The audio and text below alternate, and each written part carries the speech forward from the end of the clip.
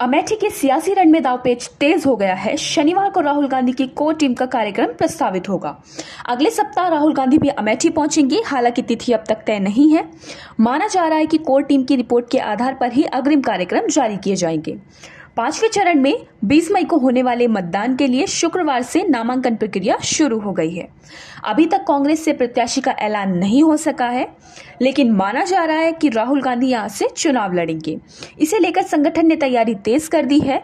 इसी क्रम में 1923 बूथों की कमेटियों को प्रभावित कर दिया गया है।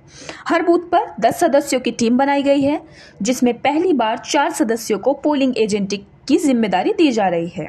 पहले पोलिंग पर सिर्फ़ तीन कार्यकर्ता होते थे। इस बार इनकी संख्या बढ़ा दी गई है। अमेठी संसदीय सीट की पाँचों विधानसभाओं के 130 न्याय पंचायत प्रभारियों को सक्रिय कर दिया गया है। उनसे पल पल की जानकारी जुटाई जा रही है। कांग्रेस के मीडिया प्रभारी अनिल सिंह कहते हैं कि कार्यकर्ता पूरी तरह से तैयार हैं। नामांकन के बाद राहुल गांधी अमेठी में पाँच दिन रहेंगे। इस दौरान पार्टी हर विधानसभाओं में उनके कार्यक्रम आयोजित करने की तैयारी कर रही है।